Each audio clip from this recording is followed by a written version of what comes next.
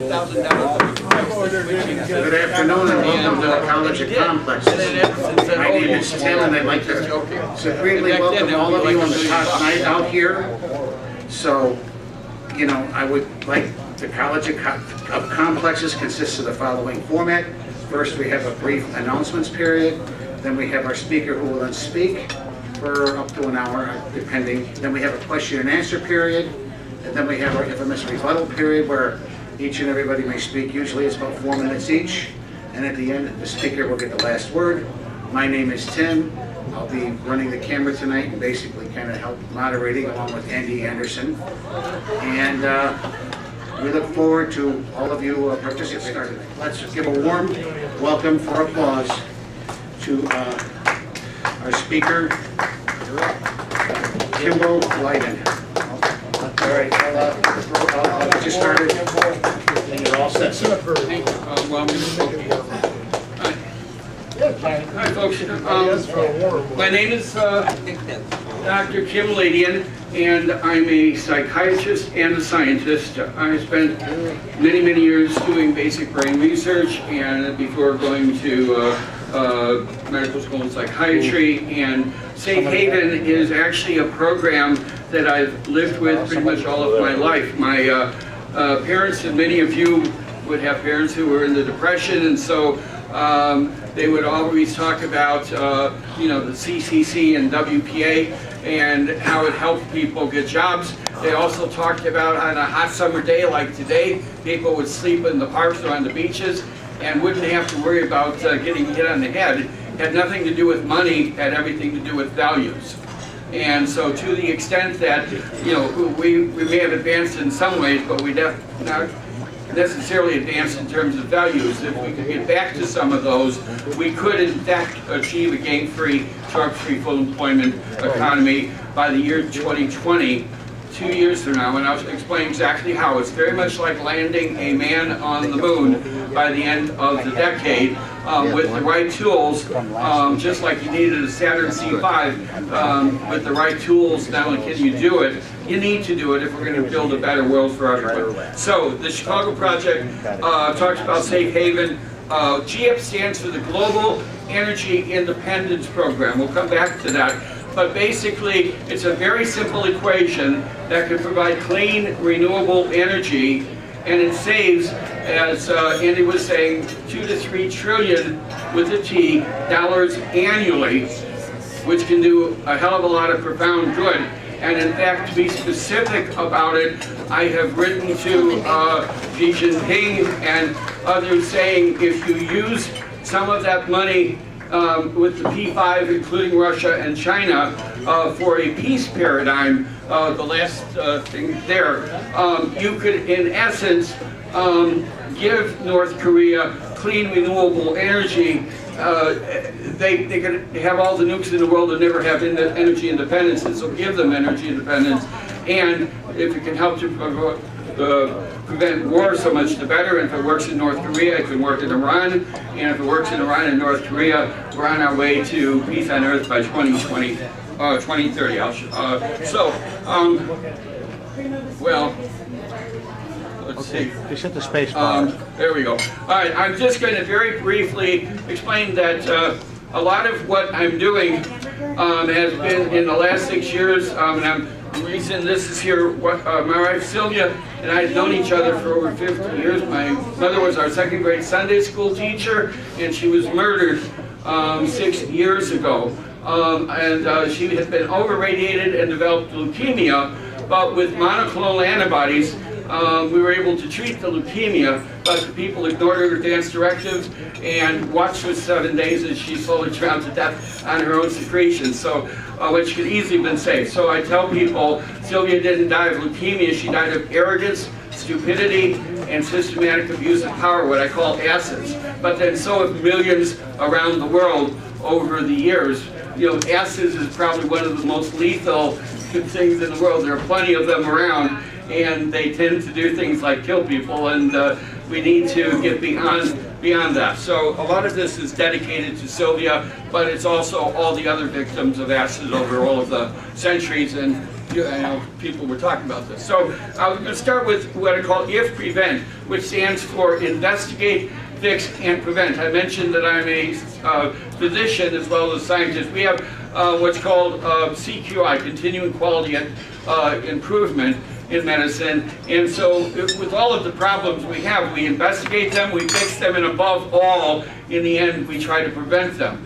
But that's not just true in medicine, it's true in any area of society. If you go from politics as usual, if you go from ideology to good science, you can actually solve a lot of problems. Pretty much everybody here has one of these. Didn't exist 20 years ago. And if it did, it didn't look like this. Maybe it was two tin cans and a string. So the point is, science you know, allows us to do many things that would not otherwise be possible. So I'm going to come back to if prevent. I'm going to come back to my global energy independence program, safe haven. But this is just something of a preview. So if prevent. So four tools to help break the cycles and fix the system. So if you take if prevent, it's investigate, fix, and prevent, and you apply it not just in medicine, but in government, in law, in uh, every area of society. You investigate problems, you fix them, but above all, you prevent them so you don't go in circles, you go forward. Not only can you do wonderful things, um, that's what science does. That's why each one of you has one of these and so many other things. That's why Sylvia after 19 months of literally living together in hospital rooms, within a few days of starting monoclonal antibodies, which were brand new at the time, her cancer cells were gone, her vital signs were stable. So again, she didn't die of leukemia, she died of acids. And so we still have to treat acids. So uh, Super Epic is, you know, everybody sent something maybe by FedEx, and just like FedEx can track a, pay, uh, a package anywhere in the world, if prevent allows you to track the uh, a problem where it is in terms of getting fixed. So you can't hide it under the uh, under the rug. You know, you can't have a Laquan McDonald or you know or Sylvia or you know any other problem. You have to actually fix it, and you have timelines, etc. And if you solve that, if you apply that to problem solving in bureaucracies of any sort, certainly including government, you can make sure that it's no longer acceptable just to say, oh, we're working on it. No, okay, here's the deadline, here's your timeline, fix it, um, and move on. So Safe Haven, I started to talk about, again, is this community service corps like the old CCC or WPA, and it provides jobs for people in the private and the public sector. So, for instance, the first, and at this point only, um, uh, Community Service Corps program uh, today took 15 moms from Lathrop Homes, a few blocks from here, and taught them uh, in a 10-week program to be daycare assistants. So at the end of 10 weeks, they not only had a job, they had a license, they had a place for their own kids, and they had parenting skills. That's a win-win. Um, we can do the same thing. So what I'm focusing on, Chief Judge Tim Evans for Cook County and I uh, spoke a while back, and we agreed we'd start with the after-school program. So if you have after-school programs for all the kids, so they're, you know, they're in school after school, they're doing their homework, they're not out using, you know, getting involved in gangs and drugs, they're not the lookouts for the adults, they're not the army that used to be, they're, they're actually getting an education, what a shock. Um, that, so that will be what we want to do by this fall on a bipartisan basis. Again, this has nothing to do with politics as usual. It's, uh, um, it's, it's good government. And so I mentioned, uh, this is all in my Safe Haven book. The sad part about this is that this is the 25th anniversary edition. So at the back of it, everybody from Jim Edgar through Carol Moseley Braun has signed off on these. Again, nothing to do with politics, everything to do with good government. Yes, Tell sir? us how we can get a copy of your book. Well, if people want to have a few copies, I, uh, uh, it's 25 bucks, but I'll give 20, uh, 20 for anybody who has it. That's only because it costs that much. It's pretty big book. It costs that much to actually do. I'm not making a profit. It's just it uh, it happens to do that. But or uh, people could leave their names and numbers, and I can also help. But uh, uh, Amazon.com is the other place. You can simply go on and get it that way if you want. Okay. But Safe Haven, and uh, so anyway, the bottom line is that uh, in the same way, uh, having community service corps for everybody coming out on probation and parole, if you made sure that everybody uh, had a job, showed up, wasn't using alcohol or drugs, and wasn't involved in, in gang crime, if the only thing we do, and this is in the handouts, uh, they're in the back there too, I, I end uh, this part, I say, it's the only thing we do is to have the after-school programs for the kids and the work programs, mandatory by the way, for everybody on probation and parole, we will reduce gang crime and murders in Chicago 50% by next year. It's that important. You don't have to be a physician to realize that's a good thing, but it's, it's also good science. So if the only thing we did this year, and we can do it on a bipartisan basis in Springfield, is have the after-school programs for the kids and the work programs for the adults. Um, and there are some political folks I'm already talking to, um, to, you know, to do this on bipartisan. So um, that's what we're hoping. The final thing there is G up again, this Global Energy Independence Program. I'll tell you a little bit about that.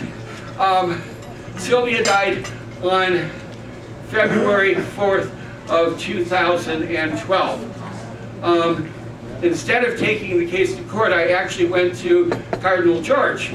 Um, and within five minutes, there was a guy, the chief conciliator, uh, guy Ralph Bonacorsi, wonderful, wonderful human being. He, uh, within five minutes of talking with Cardinal George, Cardinal George did exactly the right thing. He said, talk with the sisters, settle the case, fix the system. This has to be done. Um, I also said, look, I'll give you, you know, uh, Cardinal George at that time, now it's Cardinal Cupich, and Pope Francis, um, the simple equation underlying the Global Energy Independence Program. By the way, it's two to three trillion dollars a year. It's nice that it provides clean, renewable energy, but it's even nicer that it is saving all this money that could be used for that peace paradigm I was talking about before. So that was 2012. I also approached uh, Bill Gates's uh, lawyers, and at the time I thought it was a joke. I, I said, you wouldn't think it would be so hard to give two to three trillion dollars a year away. Go figure. You know, so in 2012, it was something of a joke. It's no longer a joke in 2018. Everybody from, you know, as I say, uh, at this point, everybody from uh, from Trump to Hillary to even Bernie to even Jill Stein. So I'm, I'm that proud. All of them have been offered the Global Energy Independence Program. In fact, with everything going on in Korea, I approached the folks at General Electric because guess what? They're the people who build things and they could, you know, they could have the patents on the generators and uh, for the installation and maintenance of these things, they'd make billions with a P annually. So you would think they would be mildly interested in the equation. Their bright idea is, okay, tell me the equation over the phone. if, if the NSA listens to phones, so does uh, China and Russia. I said, look, I'll fly anywhere and, and share it with you, but I'm not going to share it over the phone. So we're still talking talking about that. But, uh, you know, so acids come in many forms. Arrogance, stupidity, and systematic abuse of power. Unfortunately, they tend to run the world um, more often than not. And, uh, and if you want to talk about wars, you were talking imperialism before, you know, you, you, can figure out how it is. So if you want to design a win-win world, a win-win world, and by the way, Johnny von Neumann, the mathematician who came up with it, uh, was doing this, we worked on the, uh, the atom bomb, but uh, you know, this was right after World War II that he came up with uh, non-zero sum game theory. And uh, so that's wonderful, mathematically proved that win-win strategies always in the long run outperform lose-lose or win-lose strategies. So there's a very good reason why you want to use them. But there was this guy 2,000 years ago who uh, said, do unto others as you would have done unto yourself. He was articulating win-win game theory 2,000 years ago. So, and, and acids killed him too. So, I mean, it, it, this is nothing new in the world. It's just that it's time to actually do it. And again, just as we could send land a man on the moon within a decade, so too we can design a win-win world and two to three trillion dollars a year can help to do that. And Safe Haven, the only thing we do is the you know the after-school programs and the uh, and the, the, job programs. Um, we will have gone a long way within this next year towards the goal. Um, what happened was it crashed, but it's coming back. Okay, bear with me a minute here. Just basically what happened is we had a... No, it's just the computer sometimes gets a little bit overheated or something like that. This shouldn't have happened, but we had a crash on his PowerPoint. So why don't you just keep talking? Sure. and it'll come back. So computers in that way are sort of like people. They, you know, we, we crash all the time too. It's being temperamental. Yeah, and uh, people are temperamental too, so go figure. Uh, by the way, I did mention, but many of you may have the handouts already.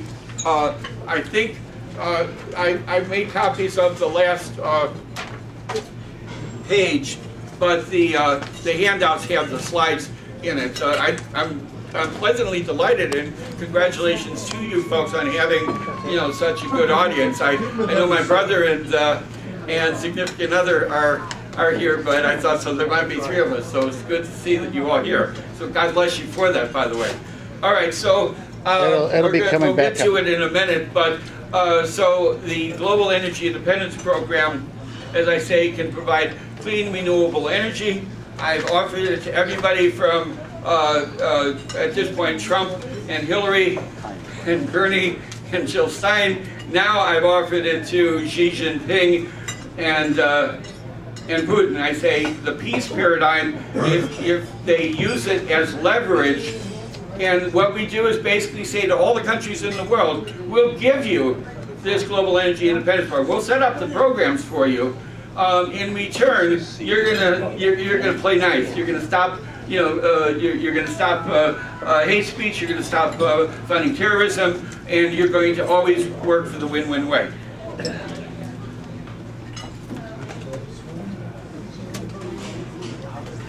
I'm glad Jim knows this. Yeah, um, we're gonna be, just another second as it cools up.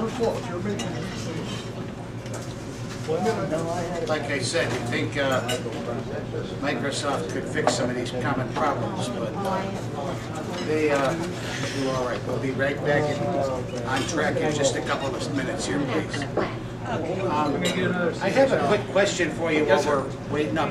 You said you had a, a universal energy program with Global, renewables? Global Energy Independence Program that provides clean, renewable energy, and it saves two to three trillion with the T annually, not altogether annually.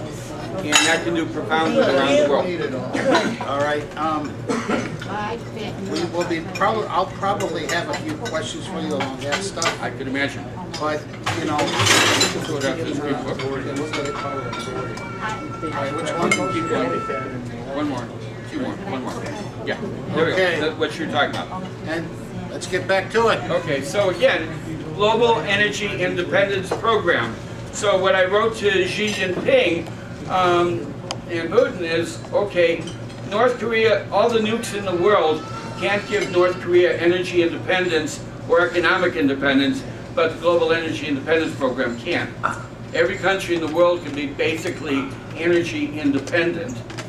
But in return for that, we want everybody to play nice, and the P5 basically enforced, so we can denuclearize safely, peacefully, not only Korea, North Korea, but also Iran. And if we can do it with those two, not by ourselves, I mean, Trump would be nowhere without Xi Jinping in terms of Korea. It's, uh, they're 90% of their trading, so if it wasn't for Xi Jinping, uh, we would have nuked them long ago, but anybody who remembers anything about World War II, it's not just Neville Chamberlain. Joe Stalin can tell you from personal experience, appeasement never works. So we were talking about, you know, dropping the bomb on Hiroshima, well, a few hundred thousand people died, but if we'd had to invade Japan, it could have been up to 25 million, or, or many, many millions, five, six, ten, uh, not just Americans, but Japanese and others. So, you know, so a motto of safe haven is a penny of prevention is worth a dollar of cure. And that's literally true in terms of these prevention-oriented programs. It's also true in terms of war. One nuclear bomb on, on Seoul can ruin your entire day. So, you know, so if we can prevent that um, and get get the, the goal of a denuclearized, and basically look at China over the last 30 years. You know, they've gone from a Stalinist, you know, Mao killed, you know, Hitler killed 20 million, um, Stalin killed 30 million, Mao has the record on 70 to 80 million. Um, you know, so so cap, capitalism has all lots of faults, and we'll get back to that. But it's it, it, but but communism hasn't done too well either. I mean, in terms of killing people. So we need to find a win-win way. And interestingly, Xi Jinping, Putin you can say is a kleptocrat, but Xi Jinping is the real deal. His, uh, his dad was uh, arrested and imprisoned multiple times under Mao. And the first thing he did, Xi Jinping, when he got elected to as, uh, as president, was go to the statue of a guy called Deng, uh, Deng, Deng Zhan Xiaoping, who famously said, doesn't matter if a cat is white or black as long as it catches mice. If he was in North North Korea, Just for a minute. both his dad and Deng Xiaoping would have been tortured and murdered long ago. So, you know, so, you know, Xi Jinping knows full well what, what totalitarian Stalinist communism looked like. And, and so it, it, it's, it's sort of like slavery in the South. It had to come out sooner or later, and they may have called themselves a democracy, but with slavery, it was an affront to the human nature. So, you know, the fact that we've come beyond that is a wonderful thing. So there is progress. We can make more progress, but it's not. Trump couldn't do any of this alone. He wouldn't be where he is now if it wasn't for Xi uh, Jinping. And the same with Iran. He, he'll be nowhere without Putin. And then, you know, Syria, all that. I mean, so it's cooperation. And the, technical term is win-win cooperation versus lose-lose competition. It's like a family. Everybody can bicker and fight, or you can work together. And the more you work together, the functional family, that's what you do. Everybody helps everybody else. And the family of man, it's about time. So, Global Energy Independence Program. So, I'll get to the Chicago project. I say, with the Manhattan project, we built the bomb. With the Chicago project, we can all help build the peace. And I mean that literally. Not just here in America, but around the world. These are programs that can do it. So there are four steps that are listed there, and again, they're in your handout. The first is the gang-free, drug-free, full employment economy in America by 2020. You, you, you walk the walk and you, you know, it's not just talk the talk, but you walk the walk. We can do that, and to the extent we do it, um, we show the world that it can be done. Um, building the cyber city, state, county world of the future, you can integrate win-win systems into the, that's the last page of the slide. You can integrate win-win algorithms into the um, computers, and if part of the deal of implementing a global energy independence program in these countries is you're also going to integrate your cyber systems so that they're basically universal cyber systems. And just as I mentioned with If Prevent and Super Epic, you can't hide things under the rug. And you actually have to find real solutions. It's not politics, this or that. It's not, it has nothing to do with ideology. It has everything to do with outcomes. So you want to know how to fix a problem? Run a few tests, see what works best, and then keep on building on that. That's what we do in medicine every day of the year, and that's what helped Sylvia within a few days of starting monoclonal antibodies, and then they were new. Literally, her blast cell count was zero and her virus lines were stable. She wasn't killed by the iatrogenic leukemia, she was killed by acids. And I'm going to emphasize it because this is all about killing acids. It's all about stopping acids. What do you mean by acids? Arrogance, stupidity, and systematic Now we got it. abuse of power. I'm sorry, it's in here. No, actually, it's not in here because of different slides. But arrogance, stupidity, and systematic abuse of power. I shortened it to be ASSES. But there are plenty of them in the world, and and and there- everybody who would rather do ideology, you know, I said Hitler, Stalin, Mao, you know, for the three top folks in terms of uh, actual murdering. Now, per capita, Xi- um, Genghis Khan was probably up there per capita, but in terms of, uh, of the actual numbers of people, those three so far top the list. Um, and all, what they all have in, in common, in addition to being asses, is it had nothing to do with, with science, well, B2s maybe, but it, it, but it had a hell of a lot to do, you know, with ideologies and we're better than you and, and we'll prove it by killing everybody. Um, it, it, it, it's been the bane of the world and it's time to stop it. So, um, the, uh, so by sharing Global Energy Independence Program, GIA, just like they made the original agreement with Iran to denuclearize, if you tell, as I say, North Korea and then Iran, look, we'll give you clean renewable energy, save you billions, hundreds of billions, tens of billions of dollars for Iran and North Korea, you'll be energy independent. We just want you to play nice. Stop the hate speech, stop funding terrorism, you know, and, uh, and play nice in the world. And you know, lo and behold, not only can it be done, but it needs to be done. The alternative is if, if we don't denuclearize uh, North, uh, North Korea, uh, Trump's position, negotiating position, is extraordinarily simple. It's either to uh, to uh, Kim Jong Un, either you denuclearize in June and July, or you and your regime are dead in August. And the reason is because he wants to set an example for Iran, and he's not going to wait for the election. So either, either, you know, Trump and Xi Jinping can settle and denuclearize North Korea permanently, verifiably, and, uh, and, uh, and completely by August. Not, that they won't finish by August, but they will have got everything, they will have identified all the sites, et cetera, et cetera. If they can do that, um, the world should dance in joy because again, it could be replicated in Iran, and then the P5 uh, can can share GIP with every country in the world you know, with same deals. We'll give you energy independence, but we'll also give you prevent and super epic, um, and we want everybody to play nice. And by the way, we're going to be able to monitor the whole damn thing. So th- that's like building the Saturn C5. You can do it, it well within 10 years. I left two years extra. You can do it well within 10 years.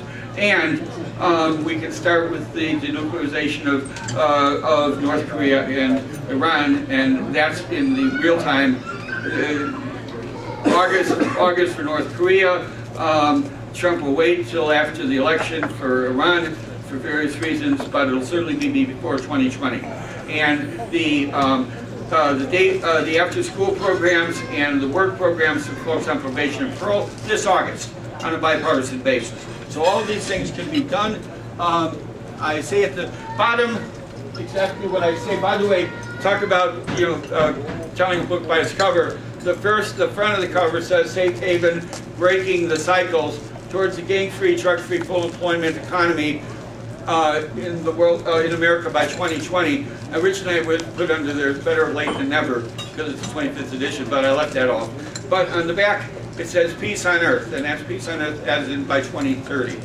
Totally doable, just like you can land a man on the moon with good science and good government. Not only can you do it, you need to do it. So it started with uh, Sylvia and fighting asses, and I'll end with it and dedicate, you know, the talk and and the goals of safe haven. Okay. What, what? To not only Sylvia, but all victims of asses from any type and anywhere.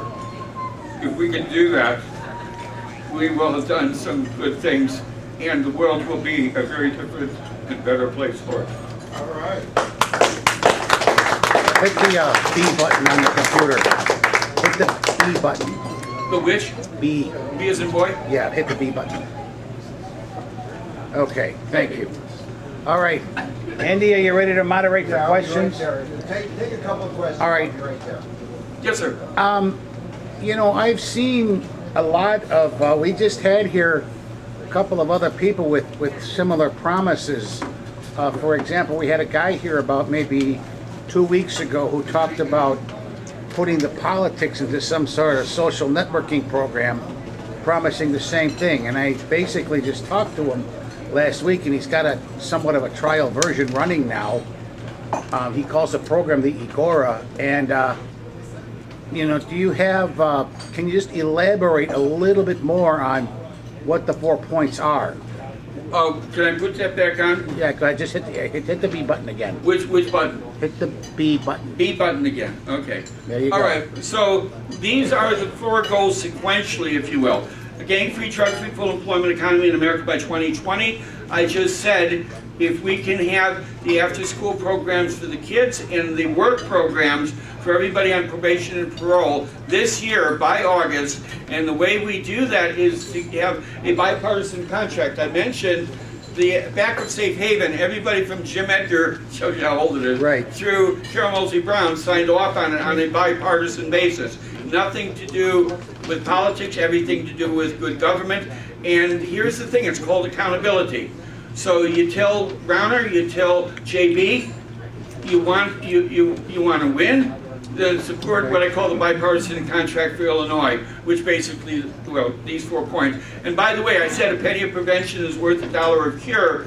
If we reduce gang crime, drugs, joblessness in Illinois even 10%, we save 500 million dollars annually, 10%. We're talking 50% this coming year, 95% by 2020. That's several billion by itself, not even with GIP, because GIP will take a few years to be fully implemented. But, but this is science. This is your phone Right. instead of vague promises. It has nothing to do with promises, it has everything to do with outcomes. Can you elaborate on two, three, and four a little bit more? Of course, so two is building the cyber city, state, uh, country, world of the future. I want, well, I originally went to Rahm on this, you know, because he has all his buddies in, uh, you know, business as well as with, uh, in entertainment, but, but said, look, I want Illinois, Chicago in particular, to be the science hub of the Midwest. Um, so I want to have the cyber program started here. And this started with Sylvia with If Prevent, because again, you know, we clear, we, we cured, we, we treated her monoclonal antibodies, but the sisters, you know, uh, didn't know anything. So with Car- uh, Ann Quinlan, the prosecutors for, you know, uh, in New Jersey, the, the, the Attorney General and the, uh, the county prosecutor said, you know, you, you will be charged with murder if you don't take it to court. So the folks, this was at St. Joe's, they, they, they knew exactly what they were doing. And I, was on for 15 years there, so they, they knew exactly what they were doing. Uh, they ignored her advance directives to be full code, turned up her uh, morphine drip and watched for seven days and she drowned to death on her own secretions. Those are asses, to be technical about it. Arrogant, stupid abusers of power. So to the extent that um, we have the cyber systems, it, think of it as ombudspersons. So you know, with with it, uh, and I started with with the uh, Presence healthcare. I said, look, we'll in, integrate these, and the reason it's called Super Epic uh, is Epic happened to be the information electronic medical system at uh, at Presence, still is right now. So Super Epic basically says you can't put things under the rug. It goes straight to the sisters, straight to Cardinal George, and uh, in that case, and and it's their responsibility to make sure that the problems get solved. So we would be alive today if we'd had it. So having said that, so that's that. Take another question. Okay. Okay. Just in the back there. I have a more, um, I, uh, over here. Hi. Okay, I have a more specific question. Uh, your GIPE plan, the GIPE plan with energy, right? What about it? Okay, I GEIP. got Glo- glo- a, Global Energy, GIA. okay, GIP. Your GIP plan is, how specifically are we gonna stop using oil? Well, this has nothing to do with oil. It, it, it's a, it, it's a new, it's a new alternative energy source, nothing to do with oil. But as I said, I literally in the last few weeks have gone to General Electric because they're the people that build these things. Oh, And, and they do the about cyber. building nuclear, uh. It's not nuclear as such, but I mean, anyway, it's a new alternative energy source, and I'm happy to share it with them. What- I mean, what- this is the irony. For you know, since 2012, I told Bill Gates' lawyers, you know, you wouldn't think it would be so hard to give two to three trillion dollars a year away. You know, go figure. But that's true. Are you gonna tell us what it is? Say it again. Are you gonna tell Can you us? give us a clue, I- a I can't- general outline? Is it thorium? I, I, I can't hear both of you. Say it again. Is it thorium? Is it what? Thorium. Specifically what? No, no, no, and it's, Renewable it's- energy and it's not pixie dust either, but it works, and everybody who sees it will understand it, and, uh, and it will do exactly what it says. I'm a scientist, and scientists are pretty big on, you know, on, on, on. Will, on- will, will a jet aircraft be able to fly with that energy? well, since they fly now, it's, uh, it, it, it, there are ways of doing anything with it, but, but without getting into the details. Well, details. the only jet fuel flies airplanes. Well, you can fly a jet on electrical power, No. and, I'm sorry? Nope, Nope, you can't? nope, I already. Well, the- there's a new generation of lithium batteries coming out. Nope. No, okay. Anyway, what, what I can say is it's ninety Dirty, percent, nasty jet fuel, which is made. ninety percent of the energy. Uh, there will be some, um, some things that, uh, other sources, um, will do, but ninety percent is pretty good. Okay, Okay, yes. question over Um. I, I just heard, I just heard in the news that General Electric is going broke.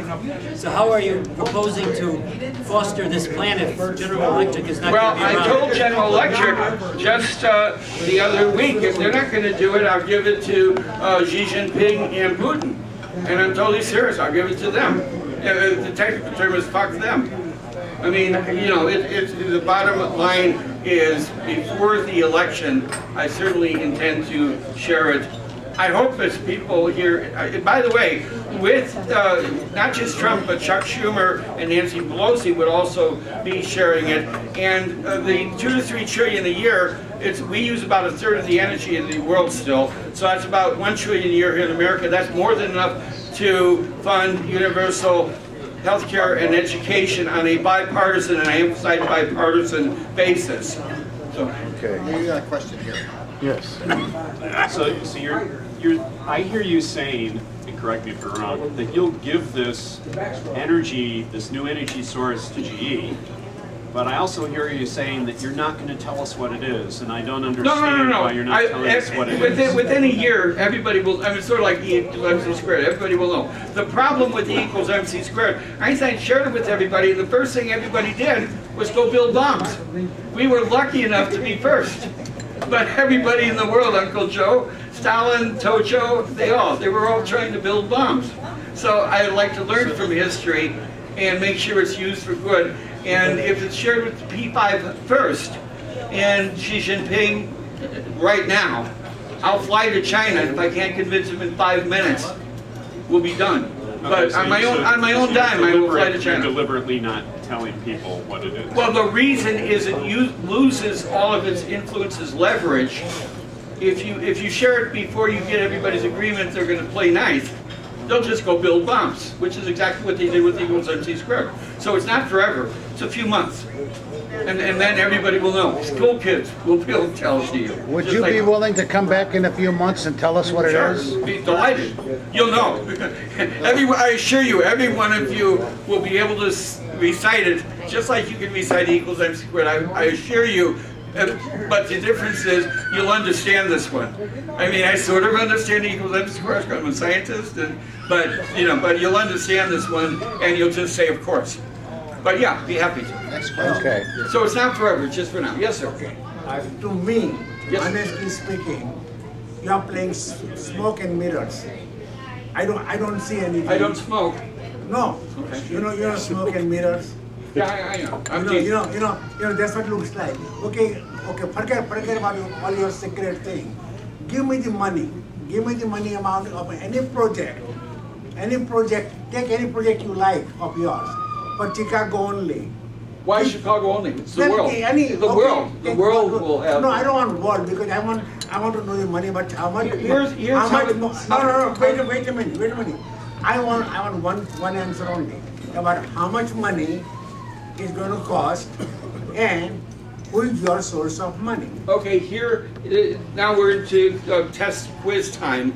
How much did I say it saved? Not cost saved. I said, and No, I'll no, repeat no, myself. No, No, no, sir, sir. I don't Okay, okay, here, you don't want to hear I don't it. to You don't want to hear it, so No, I don't, I don't want to save. First, first I want to know the money. I'm then I I'm. If you want to listen, I'll give you the answer. You're not giving. Tell me when you're ready to listen and I'll Okay, answer. Okay, okay, listen. Okay. General Electric, if they have the patents for GIP and the contracts for it, they will make billions with a B annually doing this. That's enough. I mean, by the way, one nuclear bomb, as I said, is, is a couple, is a several hundred billion and So So that you- you're saving money, you are not spending it. That's what good science does. Yes, sir. Smoke and mirrors. I want to say, I understand why you're reluctant to say what the energy Now, I mean, is. eventually, within a year, everybody will know. Yeah, and, uh, you know, I'll, I'll come back when you come back. Um, And- and so, I'm happy to uh, do I just wanted to explain that there's an idea called the Jevons paradox. It's a paradox in economics that says the more uh, you grow technology to allow the efficient use of a form of energy, the more easily people exploit it, and that can cause Oh. overuse and that can cause uh, environmental hazards. Did you hear the part about clean, renewable?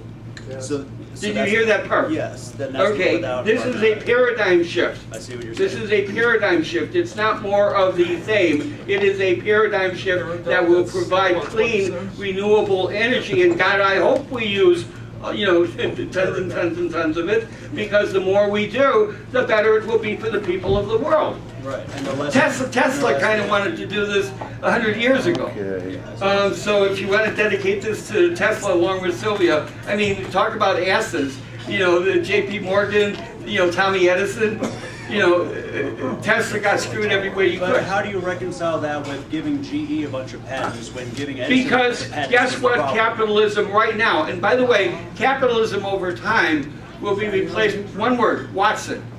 You know, just like we can, just like we can predict the weather infinitely better now than we could 20 years ago. Over time, we'll be able to predict economic cycles, et cetera, et cetera. And Watson, you know, will do a much better job than any market, any human being, and, and can, you can integrate the win-win algorithms I was talking about, so it's a fair, equitable system for everybody around the world. Period, end of story. And by the way, Xi Jinping not only agrees with that, he calls it a community of common destiny. So you want to talk about a good guy. And, and he was there, and his dad, his dad knew quite well the prisons of China. So, you know, so he knows. And so if we can get rid of all that, and he's the one person that can do North Korea, and if he can do North Korea, we can do Iran. If we can do North Korea and Iran, we're halfway to uh, peace on earth by 2020. Because we're going to share this with every country. They get money. The, the fellow sitting back there, they get money. Every country will save money, tons of it. And it'll be good for their, for their people. Could- I have a question. Uh, Yes, sir. Are you saying that as, as people shift over to using this new source of energy, it's gonna be cheaper than fossil fuels? Infinitely. And and so that- that's where It's, people... it's, it's, it's Tesla time. Okay. It's Tesla time. Tesla had the right idea. I'll put it that simple. I mean, in terms of, you know, providing clean renewable. And by the way, there are folks at General Electric. I talked to their chief scientist, chief scientist at General Electric, and said, I'll share it to you. I just don't want to share it on the phone. Because the NSA can listen in, so can China and Japan and, and uh, Russia. And even though I'm going to share it with China and Russia, you know, I want to share it with you guys first because I want you guys to have the patents because I want to see this thing get done. If I leave it to bureaucracy, you know, we'll be talking, you know, we'll be talking uh, decades. So, so you know, the free enterprise still works, but it can be well improved upon. So General Electric were the exact right people to go to. Other questions? I don't want to press you too much on this, whether it's cold fusion or whether it's uh, All of those, with so they're all fine. zero point energy, but uh, if it is an energy that uh, can be used by anybody, uh, like I almost on the I'm of the waiting for moment- warp drive myself.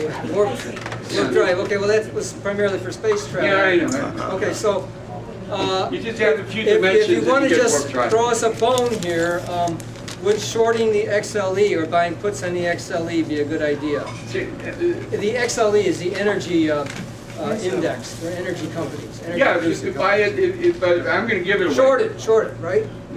We would be shorting it, or Well, puts on it, right? in, in the long run, General Electric would have more business than they ever had. So I mean, General they'll- Electric, they'll- but not they'll- they'll make it like bandits. ExxonMobil, not ExxonMobil. ExxonMobil would be dead dust, right? Well, you know, but we're talking about moving from a carbon-based system anyway.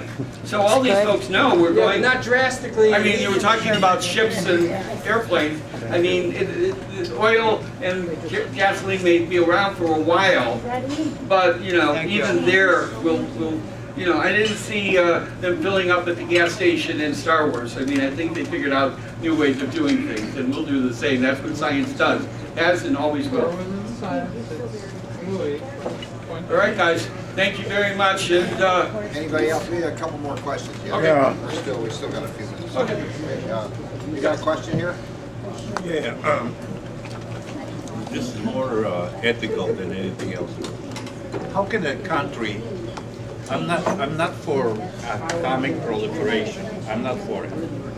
How can a country that can blow the hell out of the earth a hundred times tell a small country you cannot have atom bombs? Easy, because appeasement does not work. You want me to repeat that? Appeasement does not work. If you don't settle it now, and even like with Hiroshima, it might have been a few hundred thousand, it would have been millions if we had to invade Japan. Uh, appeasement doesn't work. If you come up with nothing else while you're here, to hell with all this, appeasement doesn't work. That's why you tell small countries, be- because you want to make the world a better place. Oh, yeah, America. I'd like, I'd like to, I'd like to hear your comment on the China policy of one belt, one road.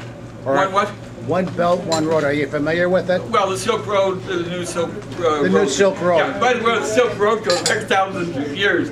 And uh, uh, one thing, uh, uh, well, it's always been economics, but anyway, uh, Xi Jinping talks a lot about the, the Silk, Silk, uh, The new Silk Road. et cetera. But the bottom line is he understands. He really, really, in fact, I have his, I don't have it here, but his book is about as thick as this, a little thicker actually. But he cheated, he used his speeches. This is all. We do have the Chinese ambassador who came here a few weeks, a few I wish months I'd ago. known, I wish I'd known that, because I'm trying to, It's I, on- I, I- right now, I, I sent a letter, you know, I, I sent to Beijing, and I sent to, uh, to Washington, and I sent to the fellow here. We have the name of the Chinese consulate here. We'll talk at, afterwards, uh, because, because, you know, it- it's American know who. I mean, you know, uh, it, it took over twenty years, you know, containers, uh, the cargo containers, took twenty-five years to get those in place, because the unions didn't want to, it, it used to cost dollars per pound to ship anywhere. It cost pennies per pound, so even if something is a great idea, Tesla, I mean, even if something's a great idea, that doesn't mean it's gonna happen because somebody's gonna get screwed. So, uh, you know, you're talking about the uh, oil company and everything. Well, you know, that's part of progress. We don't manufacture many buggy whips anymore. That's good. That is good. So anyway. Well, you want to start the rebuttal period a little early tonight? Everybody Yeah, we can start it tonight. Let's give them about five to six minutes. I think we got enough time. Well, uh, Anybody got any more questions? Or is it pretty much satisfied that our speaker answered your questions? People might want to. You want me to throw fuel on the fire, or do you, would you guys like some fuel on the fire? I think what will happen is that after you hear the rebuttals, you're gonna get the last word, and you'll be able to douse more. All right, well, I, I, I can tell you why there's a very good chance that before the election, all this is going to happen. But, and by the way, af, after it's shared with the P5, that's exactly when you guys will know. Because it's just getting their agreement that they're gonna do it. Because the P5, if they did Iran, you know, without this. So anyway, so soon. But- And everything's kind of outlined in your book a little bit more in detail, well, right? Safe Haven, as I say, this is 25th anniversary Right. edition. This doesn't talk about uh, the Global Energy Independence Program. Uh, the Chicago pro, uh, the Chicago project, again, you know, Manhattan Project built the bomb. The, the Chicago project can build peace, and and that that's going to be coming out in the next few months. Okay, Okay, give our speaker a let's give hand. our speaker a hand. Have a Thank seat. you. fingers. Yeah, finger works too. Have No. a seat and we'll. uh, Have a seat and- start the rebuttal period. Please. If you need a projector or you want to open a web browser, feel free. I will be more than happy to assist if anybody wants to use it. Otherwise, just hit the B button for the blank, blank the screen. The B. Just, just, just hit B. How do you shut, shut it down? Just, just hit B. I did. B. Oh, it's, uh, here you have to get rid of this. There, now hit me. And we can turn it on if we need to. Just, le- just leave it, just leave it. Yeah, but Some people are short. Okay, let's just take it off and down. Put it down on the uh, table. Yeah, we'll be all set, and then, uh, if we, we have it if we need it. wires in, nobody trips. We have it if we need it. All right, uh, we'll give each and everybody tonight about six minutes. You can go six minutes. So we got, we got some time. Last, we got an hour. All right, you got time, Andy? Yeah, I got a timer. Okay. Raj Patel, speak away. Hey, boy, right. Uh, my name is Raj Patel and uh, I'm a nice guy and you all guys know that I'm a nice guy. and lately I've been talking to Jesus and Allah and Krishna and Abraham and you know, and we had a good serious talks, you know, this world is going crazy. So I mean, they are telling me that we sit together and figure it out new plan, you know, in next five years. You know, by 2020, we'll be having our plan. You know, sometimes, sometimes I get so upset when we get some speakers here. And uh, I mean, really, really, really. I mean, I mean, if you have a patent, if you are going to have such a big project, and if you have a patent, and if trademark office give you the patent, do you know, it has to be public. It has to be out, everybody can see it. And then other people can challenge it or uh, violating that, they can do it. But here, nothing, nothing. Lots of names, lots of names, again, again, again, nothing. Okay? Any financial thing? Nothing. Okay? Any specific item? Nothing. Okay? What is going to produce? Nothing. But it's going to be, it's going to be wonderful. I think, I, you know, what can I say? I mean, uh, you, you, you do not need this kind of guide here or anywhere. You know, I mean, I mean, I, he didn't answer any question, please, straight. He's saying that, wow, you know, it's going to be a great thing. Because General Motors and, you know, and North Korea and Iran and everything, and everybody has to be nice and this and this. That's nothing. You know, I, I think, I think, I think sometimes you go to some church and uh, the speaker is not nice, you know, and he doesn't know what he's talking about. He does a better job than this. Okay, I'm sorry, guys, you know, but you know, it sucks. Thank you. Okay. Attaboy, Ron. Do I get to? No, no, wait at the end. You'll, you'll, you'll get, you'll get, you'll get a chance to rebut everybody at the end. Just I take, didn't know how you want to do it. just take notes. Take notes and, uh, be ready. No, no, it it seems simpler to do it. Thank you, Speaker. Uh, I brought a flyer today by Ted Rall uh, in the Progressive Populist from November 15th, 2017. It's called, What Would the U.S. Look Like If We Built It From Scratch, If We Reimagined Our Political System and Wrote Up a Brand New Constitution? A lot would be different. What would the United States 2.0 look like? So I think it's a, a good flyer to pass around to anybody, so I'd like to present it to our speaker this evening. Um, it's a 100th anniversary of a speech by Eugene V. Debs in Canton, Ohio, that he gave in 1918. So, uh, if the speaker indulge me, I would like to read some of that uh, speech tonight in my rebuttal.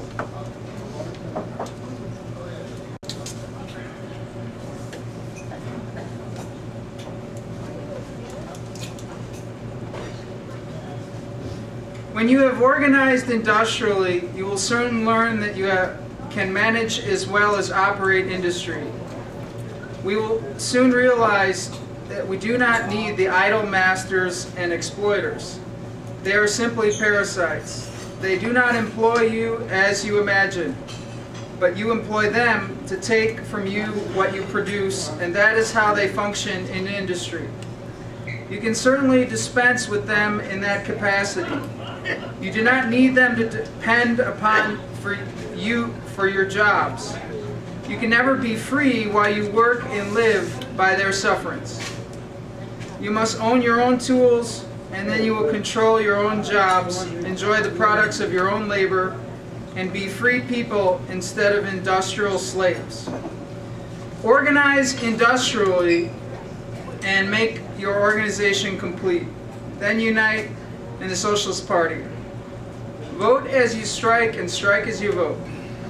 When we unite and act together on the industrial field, and when we vote together on election day, we shall develop the supreme power of the one class that can and will bring permanent peace to the world. We shall then have the intelligence, the courage, and the power for our great task. In due time, industry will be organized on a cooperative basis. We shall conquer the public power. We shall then transfer the title deeds of the railroads, telegraph lines, mines, mills, and great industries to the people in their collective capacity. We shall take possession of all these social utilities in the name of the people. We shall then have industrial democracy. We shall be a free nation whose government is of and by and for the people. And now for all of us to do our duty. The clarion call is ringing in our ears, and we cannot falter without being convicted of treason to ourselves and to our great cause. Do not worry over the charge of treason to your masters, but be concerned about the treason that involves yourselves. Be true to yourself, and you cannot be a traitor to any good cause on earth. So Debs is talking about how we all yearn amongst we the people in the United States of America as a government that actually represents our values in the communities, family values, worker values, everyday uh, person values. So what you're proposing this evening, and uh, respectfully, there's a lot of details lacking, which kind of gave us a lot of curveballs in the Q&A session. But I, you know, I like what I heard of the general uh, outlook. The specifics, there's more to be uh, heard there, but in the general, it sounds it sounds uh, pretty good. Not great, but pretty good. You want a five Um, dollar bill? I always imagine what Debs would think about a lot of these proposals at the college of complexes and what would he uh, say and what would a lot of people of his mind think about our uh, ideas and our visions and our dreams and our cooperations and our solutions to the uh, challenges we face in the United States of America. I will say there there is a big flaw in what you said tonight, and that's you kind of uh, you know are apologizing for militarism.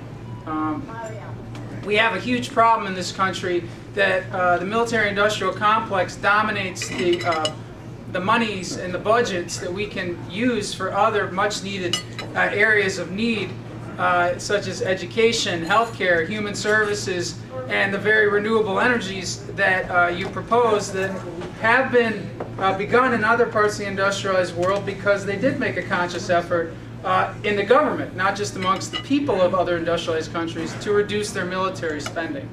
So uh, this this theory that there has to be a police of the world is still uh, kind of a quackery that we hear over and over again in the United States because you can get away with this in the United States because we grew up here seeing all these movies where the hero always is shooting up the town and blowing everything up but somehow unscathed comes out without a scratch at the end at the very last scene to give the one-liner holding the trophy model on one hand and the bag of money in the other hand with a big smile, almost ready to eat his cheeseburger, his french fries, and his milkshake. And, you know, this nonsense works in the United States, but go to any other part of the industrialized world, any other part of planet Earth for that matter, and uh, you know, there's a lot of people who think that negotiations and diplomacy and uh, common sense dialogue where there isn't this saber rattling and this antagonism and the strongly worded condemnations of a government that, yes, they might have weapons, but the main reason, which the media, of course, here never reports on, is they disagree with our policies. That's not a threat to me or you or anyone in this neighborhood or any other neighborhood in the United States. If a government disagrees with our policies, it's because the United States America has a government for a long time that oversteps the line and always goes overboard. And always says, well, we don't want just what we need, we want more than that. And they hear the people from the United States saying, do you, do you realize what your government is presenting to us as, as a reason why we have to have all this militarism in the world? They're saying you need more than just your quality of life. And on top of that, they're keeping it all for the very top 1%, not even showing you how much wealth you have and how rich you are in your resources. So uh, that's what I think when I guess what Debs might say to that part of your talk, but the renewable energy talk part I greatly appreciate it and thank you for being here.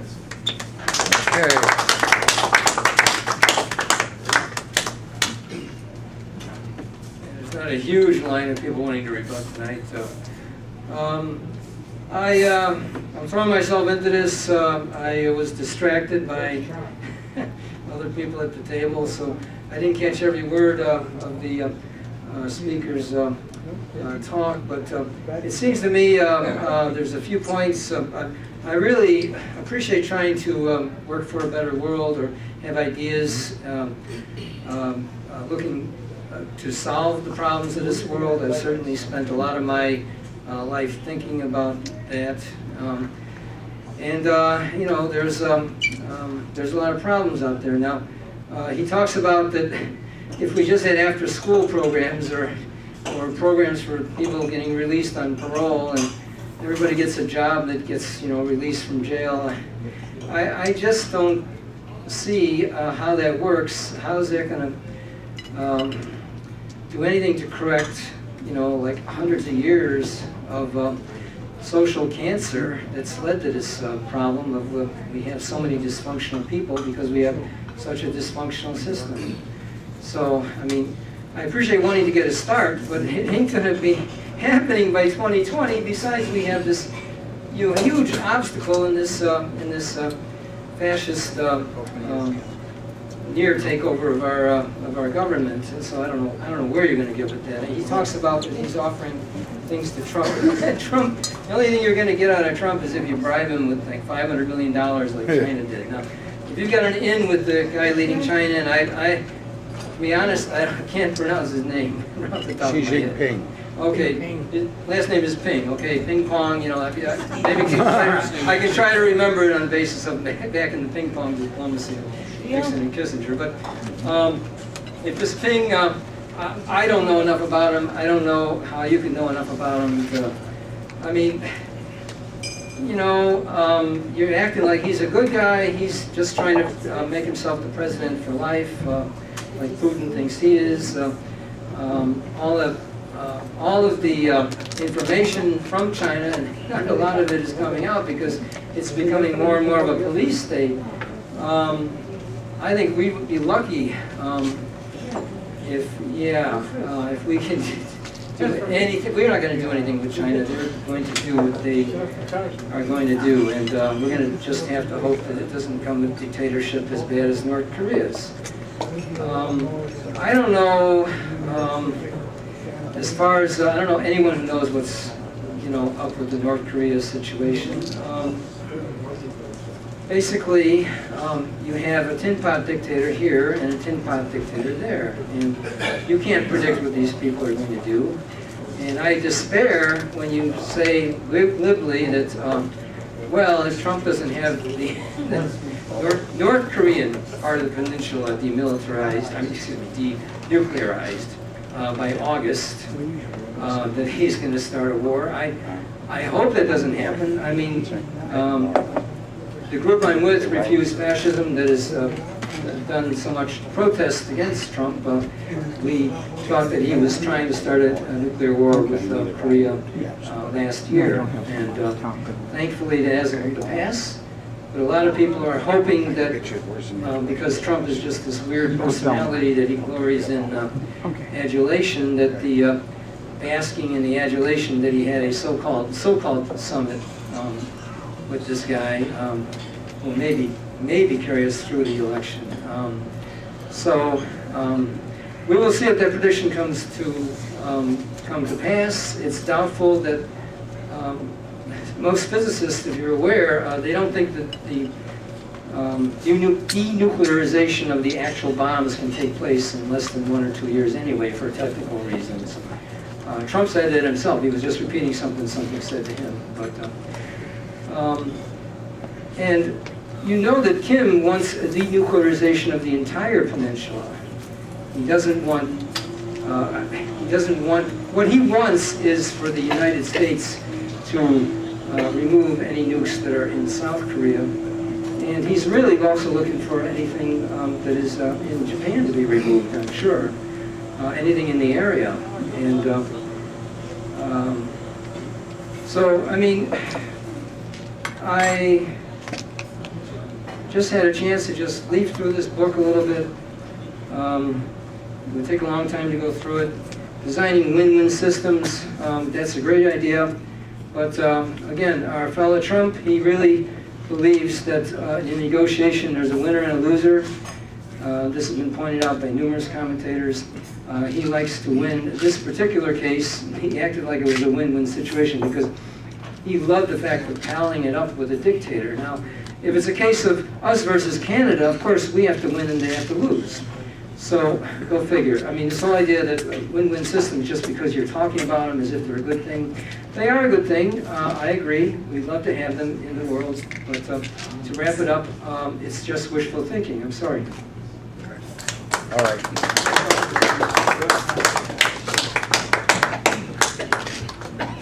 Um, thanks to the speaker. Uh, my uh, condolences to the speaker for losing his family member. It seemed like a very uh, traumatic event, and he still carries it with him. And I'm sorry to hear that story. Um, some points of uh, uh, that I disagree with. Uh, I, Korea, the whole Korean War started because Stalin gave Korea a bunch of weapons to invade South Korea and to take to communize the whole peninsula. The U.S. stepped in, and we propped up the South. And now, uh, like 65 years later, it, China is standing behind North Korea because it's in their area of influence. We're kind of stuck there. These are the the North is willing to see hundreds of thousands of people starve to, to take as much money as possible to put it into a huge military. I think our best strategy is just containment. Um, anything else is uh, unrealistic. Uh, any crazy threats from our current president to take military steps is just setting a match to a tinderbox. Uh, prisons. Um, uh, we have an a strange prison system. This country was founded on puritanical ideals, and our sense of prison is to punish. You will hear people inject the word uh, rehabilitation into their rhetoric. It is not a system to rehabilitate anyone. In order to, to see this, all you have to do is go to countries where they actually have successful, efficient ways of rehabilitating people so that they become productive members of the society. And we don't have it. And that's the biggest problem you have is fighting the attitude of this country that it's all about punishment. It's a fantasy that we're re- trying to rehabilitate people. A work program is great in this country if we have jobs and we have good people who, who don't have a felony record who are trying to get good jobs and they're struggling. So there is a whole host of problems uh, trying to rehabilitate people, and I just don't think throwing out a number of 2020 is is based on any kind of realistic plan to change this country's prison system. Uh, the the idea that we can be drug free. Um, I think everybody in this room understands how impossible it is to change the Constitution. But if you go back in time, there is a point, like 120 years ago, where there was talk about changing the Constitution, and we did it. We outlawed alcohol. The whole country believed that alcohol, we could get rid of it by just passing a law. And it turned this country into a nightmare. And now, and then they went out and admitted it, and they passed a second constitutional amendment to stop it, because it's, a- it's a nightmare. The problem with setting a goal of being drug-free is that it is an impossible goal. Humans have this innate desire to take drugs. They want to drink, they want to smoke pot, they want to do nicotine. Even the natives were doing uh, nicotine and peyote in the Southwest. People just like these mind-altering experiences. The, the, the goal is to not create black markets, which encourages crime. It's to find management tools and laws to limit and minimize and control the problem, like we're doing right now with alcohol. So in, enjoy your drinks if you're having one. Uh, clean energy renewal. Uh, uh, the speaker spent a fair amount of time talking about the plan to, to in, introduce clean energy with zero details. And as passionate as he is, and I, I certainly like the, th the way he's motivated to change things for the positive, but coming in here and spending time talking about somebody, about some topic, and not providing any details is the equivalent of coming in and saying, hi, I have a secret and I'm not going to tell you. It's highly frustrating to hear this. And I will hope that speaker takes this to heart and, uh, and make adjustments to his presentation. So the final, my thought, final thoughts are great ideas, but the devil's in the details. And I haven't heard really any details. Thanks.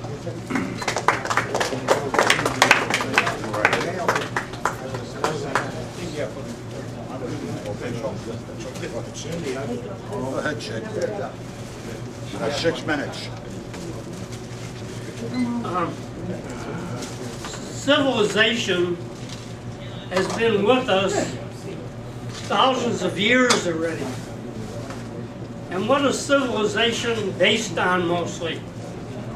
It's based on the fact that some people become very rich and then other people become slaves for the wealthy. And his ideas, while he has good intentions, I find very utopian. It doesn't have any grounding in reality.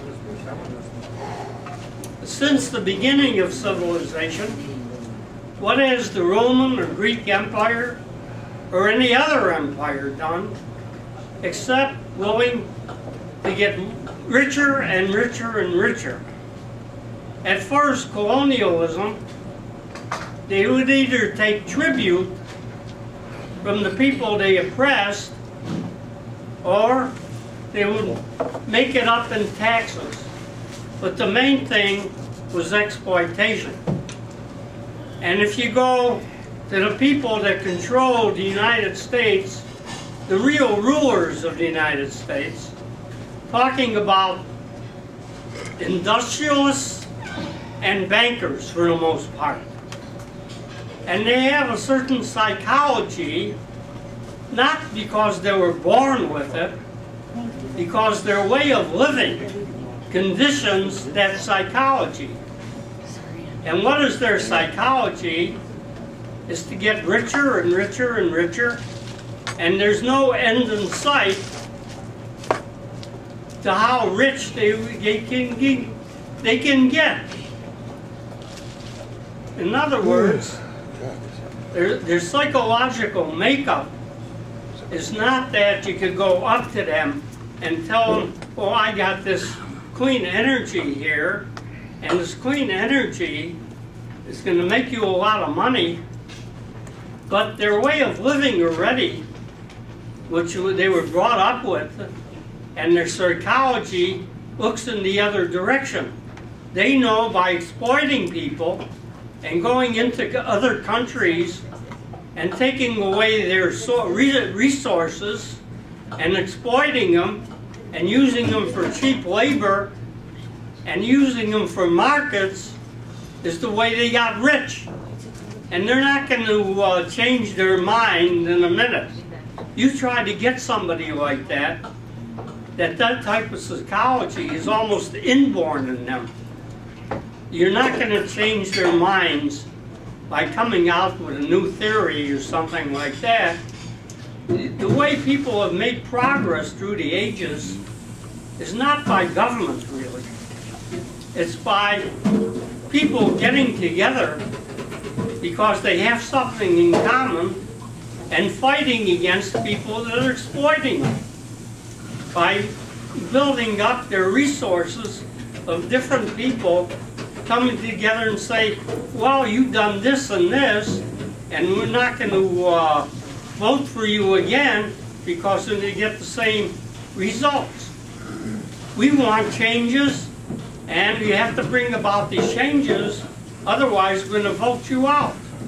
So in other words, you got to have counter pressure against ruling classes. And if ruling classes are going to do anything, like done, done under the Roosevelt administration, there was this counter pressure. You had people going on strikes, you had people demonstrating in the streets, you had people taking over factories and running them for themselves, and that's why Roosevelt brought about the New Deal. It wasn't because he was a good man or he uh, wanted to do good for the world. He was brought up as a member of the ruling class, and he wanted to make sure the ruling class stood where they were or even got richer. And that was the whole idea. In order to do that, he had to support the unions and things of that nature.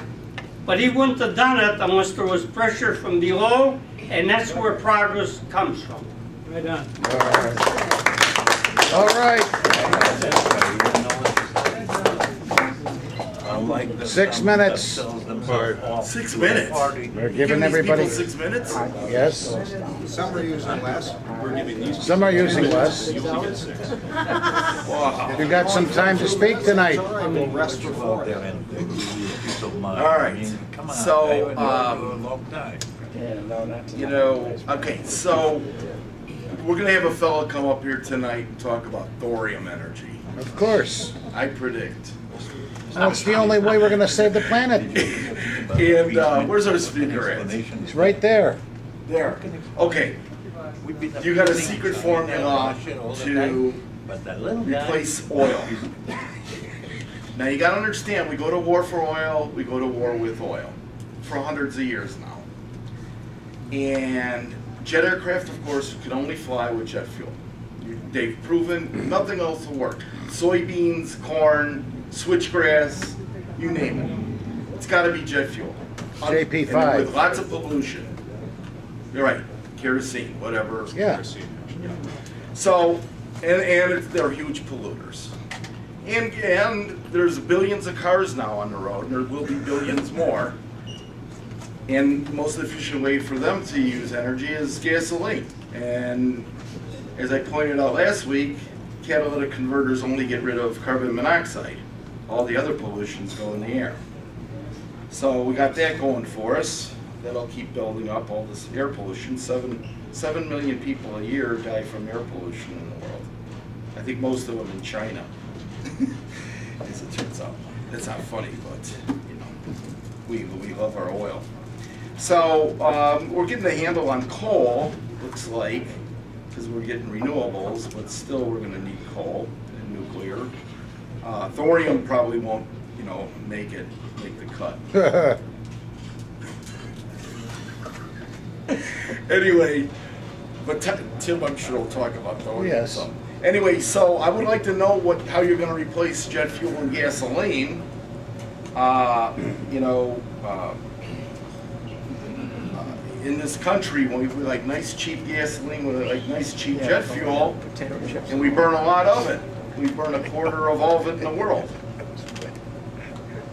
Other countries in Europe burn like half of the oil we burn because they have superior transportation systems. Uh, you know, every major city has a CTA. Uh, they have electric bullet trains that use wind power. Um, they're just much more progressive. But big oil, of course, owns this country. You know, I think it's our biggest import still. We import more, more oil than anything else, even from China. So I'm not gonna worry about coal and electricity too much because we got thorium, we got wind, we got solar, we got coal, we got gas. And, you know, so we're not, I'm not gonna worry about coal, since we'll all be on thorium someday. Good. Anyway, so we gotta do something about oil. And my solution is superior uh, Asian, European type transportation systems as options. Okay, so that's my uh, thing on energy. I'd like to know what your secret uh, sauce is here that you're going to get us off of oil. Uh, one quick thing here on um, uh, on uh, okay gangs. Well, in Chicago, of course, we tore down all the projects, so that's hundreds of thousands of people that moving into you know, disadvantaged neighborhoods, there's gonna be gang wars. You won't hear that from mainstream media, because they're goddamn stupid. So you tear people out of their homes that they've been living in, Robert Taylor and the Greens, Cabrini Greens, and you send them into other neighborhoods, you're gonna have gang wars. And the goddamn media in this country won't figure that out, and local media is totally inept. Eh, Not fake, inept. Okay, medicine, only thing you have to say about that is, I don't know anything about that. Um, then, uh, the last thing is, um, there was one other issue I wanted to talk, how much more time do we got? I'm gonna take up all six minutes. You got Damn one it. twenty, eighty seconds left, All right. maybe seventy-nine. Why are you giving people six minutes to talk? Because it's only, right now, it's, uh, Only Seven five fifty-eight. days, three minutes paid. All right, anyway, the main thing is oil and big oil and the problems with oil and war, oil wars. And the last thing is. you forgot about Wall Street. Very good, Tim. Wall Street. Okay, I don't have a problem with industrialists as much, like the Vanderbilts, the, um, uh, the uh, Carnegies that actually made things. I know they were monopolies, like we have monopolies again in this country. AT&T's buying up, you know, uh, you know, it's just a goddamn joke with all, all the monopolies in this country again. It's like a hundred years ago, the Gilded Age. Um, I have a real problem with Obama printing $15 trillion for Wall Street 10 years ago uh, to boost up the economy. We've got all these stockbrokers with funny money, uh, not earned money, and you know we got this casino economy.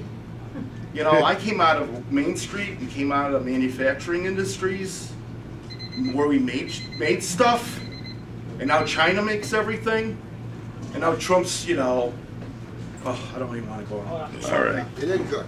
You did good tonight. And, and, and this North Korea stuff is a big scam just to, just to, Get up there, Tim. All right. just to uh, divert our attention. And Stormy Daniels in town. Hey, Stormy. All right. American Patriot. She's in Chicago. You know, the thing, American Patriot and hero. the thing is, I've heard everybody, I have heard everybody tonight bash the United States, come up with another solution to save the world. And within six minutes, Does it begin with a T? I'm gonna give you mine, part of it. The first reason, and I think a lot of what we can do to get rid of a lot of the social problems within the United States is to get back to something called the family. Mothers and fathers and kids. That is what's ultimately gonna get people out of poverty. I understand that there are situations where divorces are cured. I understand there's situations by single mothers and all that, but our culture today basically says, oh, you know, out of the 60s especially, now they're the ones in power, you know, free love and radical sex and everything else. It does take its toll after a while. And I really think that if we get back to what we hear in the family of a mother and a father and children, and I mean, I don't even care about the gays or the lesbians or the LGBTQ community. As long as they respect, we respect them, they will respect us. And a long way that goes is to keep the family unit intact.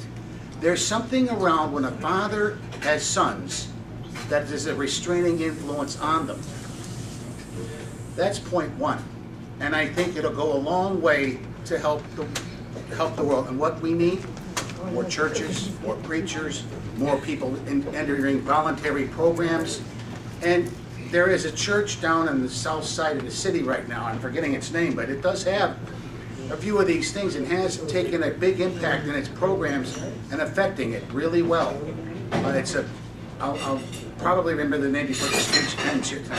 Two, yes, we all need uh, to be cooperating around the world.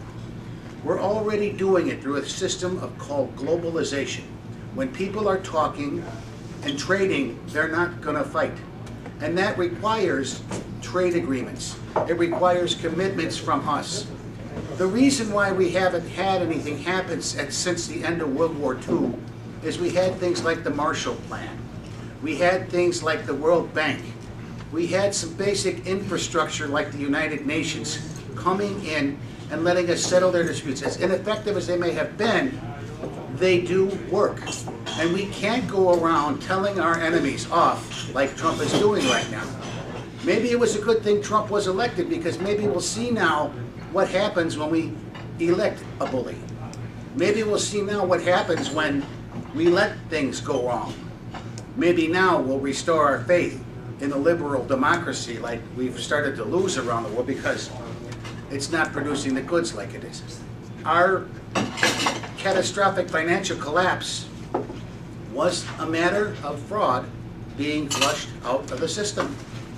The devaluation of home values, finally, Main Street caught up with what the scammer banks were doing. I just finished a book recently called the, I, it was uh, all about the derivatives and everything from Wall Street and why it went bust. It's really, actually, we can thank God that we had. Can I have a bag, please? Um, and the, the reason I like what happened is that they finally got rid of the fraud out of the system and we're back to somewhat normalcy in Wall Street. Yeah, a lot of those guys are big bankers, but until, we should have had some people go to jail last time for the banking scams. We should have had some people go to jail for perpetrating the scams. And it was just everybody got along. They did not say what was evil, and it just kind of kind of let your mouth shut and we'll follow orders. And that's how widespread fraud can happen. Yes, it still can. We may have forgotten our Nazi heritage. Now, for full energy compliance around the world, we have a problem with global warming. We have a problem with energy independence. We have a problem of dependency on oil. But when I went to the Thorium Energy Alliance uh, convention last year, I heard of a good plan on how to go to a different form of nuclear power that is safe, that is reliable, and that works. You can go to the Thorium Energy Alliance homepage, pull up a speech by Kirk Sorensen, and he will explain all about it. There's another guy up there too. His name is, um, this is also on the Thorium Energy Alliance home homepage. His name is Richard Martin. He writes a good book on why Rome went down, and it was basically his premise was the they needed more power than they did, and all they were using was slave labor. They were so close to developing the steam engine, it was crazy. Now, as to the widespread use of bringing world peace, we do there, you have to have a power or a group of nations that carries a big stick because there will be, nature abhors a vacuum. And right now, like it or not, the United States is still the big boy on the block and we better act responsibly. That means, you know, we, our greatest export up until possibly Trump is screwing it up was security. We were, there was not a ship on the ocean that could move without the impressed specific consent of the United States.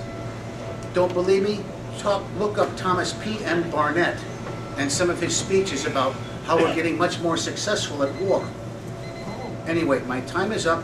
I'll be more than happy to talk about any of this stuff to anybody else. It's a result of thought. And sir, I hope you get a little more, um, you've got the beginnings of some good stuff, but get some more specifics. And please come back. Invite me back in a few months and I We will. would love to, okay? Thank you again, and let's give another hand for our speaker.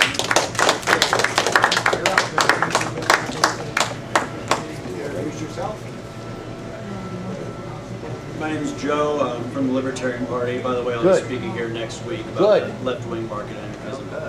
Um, I just wanted to repeat my, uh, my question a little bit. Um, I still am having a little trouble understanding uh, if it's not, if it's a renewable uh, energy resource that's not dangerous, uh, why releasing it to the public is a concern.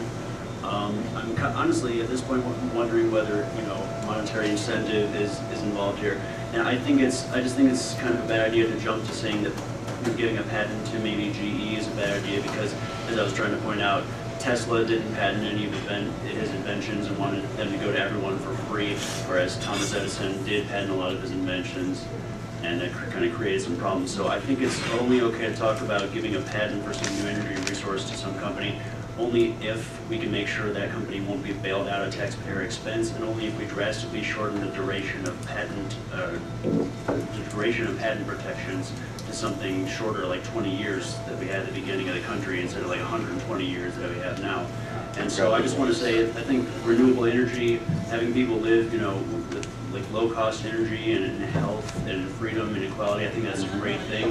I just want to make sure, I, I, I hate seeing progressives water down their message, and this is what I think I'm saying, because they want to make the make the policy seem like it's more likely. I, I saw some appeals, like some people pointed out before me, appeals to militarism, uh, you know, the prison industrial complex, almost bordering on suggesting coerced labor. I'm sorry to even say that, but uh, it does concern me. I think it, it kind of jumped to saying central government can, can uh, intervene instead of that.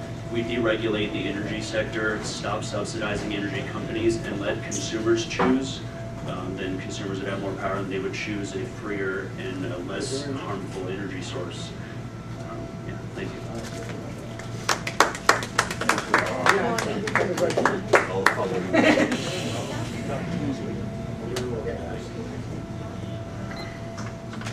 I wasn't originally going to come up here tonight because I thought the speaker gave an excellent program. And I didn't really see anything that I felt that I needed to refute. However, some of the other speakers left, left a gap there, one in particular. The United States used to be able to recruit top drawer leaders to run this country. Franklin Roosevelt was one of them. Now, they didn't all happen to be wealthy people. The United States was very lucky. For 30 years, from 1933 to 1963, we had four great presidents in a row. One of them, Harry Truman, certainly was not a wealthy man by any stretch of the imagination. And one of them, Dwight Eisenhower, did not come from a wealthy family, though he certainly became wealthy after the Second World War. But the other two were Franklin Roosevelt and John Kennedy. And all four of these people were all genuinely dedicated to the public service and to the public good, and not just for the use of power for its own sake, but what they could do with it to try to help people. And that's why Franklin Roosevelt, and in particular Franklin Roosevelt and John Kennedy were able to connect with the average citizen who, who takes home a welfare check, who's raising, who's a mom who's raising a single, who's raising a single family on that welfare check, or the miners in places like West Virginia. They were able to connect with these people because they get, they were able to get them to understand that yes, if elected, they would try and do something and help them with their problems. And Franklin Roosevelt certainly did that. He saw to it that more Americans got a fair share of what they produced. And he saw to it that the working conditions that they had to deal with became less brutal. I don't say that they were perfect. I don't say that they were that good. But they were less. They were better off than when he, than before he got going with the New Deal. And John Kennedy tried to do the same thing with the New Frontier, but unfortunately, his time was cut too short. And in between, Dwight Eisenhower led this country's post-war expansion, and Harry Truman helped preserve the gains that had been made under the New Deal and kept it from falling apart. And to, and to accuse Franklin Roosevelt of loving power for its own sake, I think that's a slur. Thank you. Very good.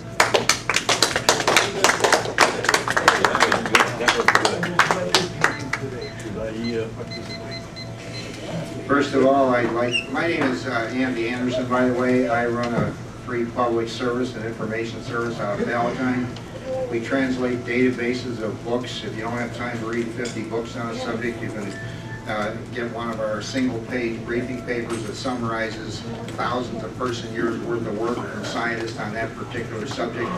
And as I mentioned earlier with censored news, we deal with blacked out subjects, things reporters get fired for writing about in America. So there's good things going on all over the place that we never hear about in the news.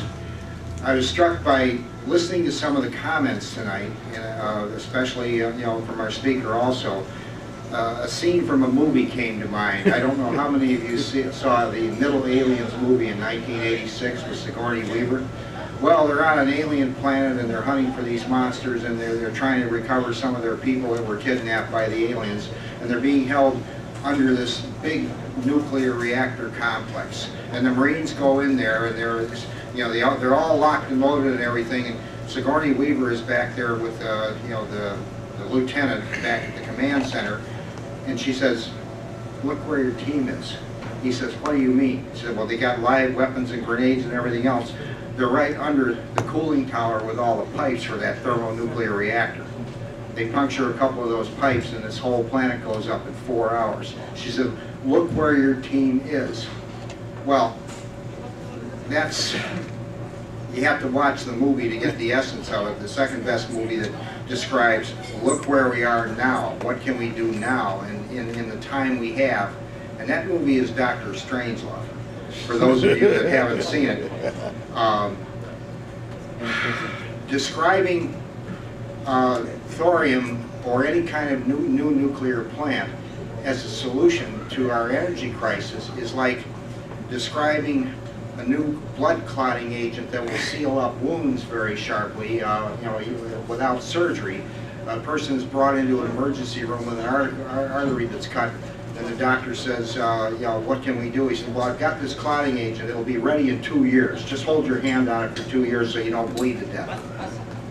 In the amount of time it would take to build a few dozen reactors, get them tested, and get them up and running, they would give us one one thousandth of the energy we need, and it would be five years too late to keep the ice from melting at the North and the South Pole.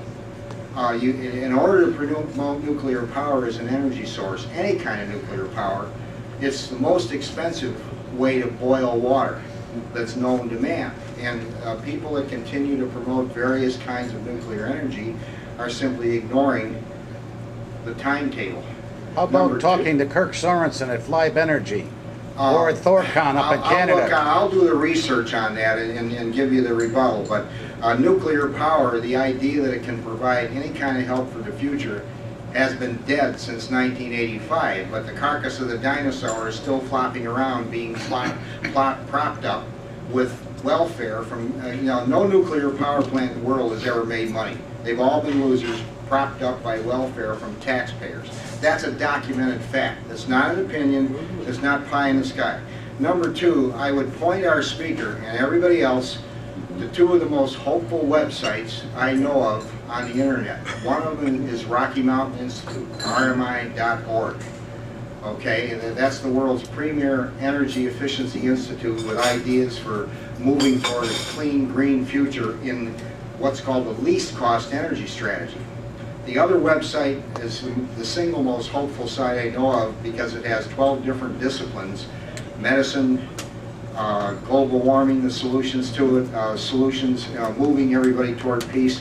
Their motto is, we're working for a brighter future. That website is called wanttoknow.info. And I have cards with these portal websites on for anybody that wants one.